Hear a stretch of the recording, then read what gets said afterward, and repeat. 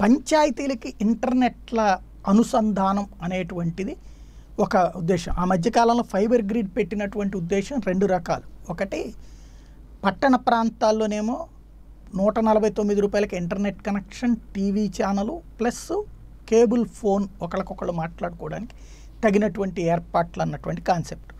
అదే సందర్భంలో ఈ ఫైబర్ నెట్ అనేటువంటిది దేశవ్యాప్తంగా పల్లెల్ని కలపాలని. ఆ పైలట్ ప్రాజెక్ట్ ఆంధ్రాలో ఫెయిల్ అయ్యింది. బట్ ఇప్పుడు దేశవ్యాప్తంగా ప్రతి పంచాయతీకి కూడా కలిపేటువంటి ప్రణాళిక విషయంలో మాత్రం కేంద్రం సీరియస్గానే ఎఫర్ట్ పెడుతోంది. శాటిలైట్ బ్రాడ్బ్యాండ్ అనేటువంటి కొత్త సిస్టమ్ని ఇక దీనికోసం వాడాలనుకుంది. కేబుల్కి అవుతున్నటువంటి ఖర్చుల్ని దృష్టిలో పెట్టుకుని శాటిలైట్ బ్రాడ్బ్యాండ్ ద్వారా నక్సల్ ఎఫెక్టెడ్ ఏరియాలో ఉన్నటువంటి ఐదు వేల గ్రామాలని ఒకటిగా కలుపుతూ దీని కింద భారత్ నెట్ ప్రోగ్రాం కింద దీన్ని తీసుకున్నారు. ఆయా ప్రాంతాలలో టెన్ ఎంబీపీఎస్ ప్రజలకు కూడా ఉచితంగా ఇంటర్నెట్ ఇచ్చేందుకు తగినటువంటి ఏర్పాట్లు చేస్తున్నారు.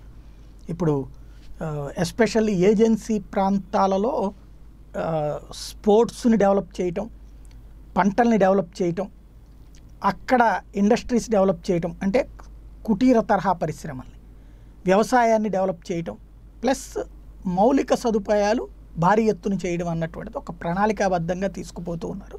అప్పుడు నక్సల్స్ ప్రభావం తగ్గుతుంది అన్నటువంటిది గతంలో ఆ ప్రయోగం సక్సెస్ అవుతా వచ్చింది. ఇది మరింత సీరియస్గా తీసుకెళ్ళాలనుకుంటున్నటువంటి సందర్భంలో ఏ మేరకు సక్సెస్ అవుతుందో చూద్దాం.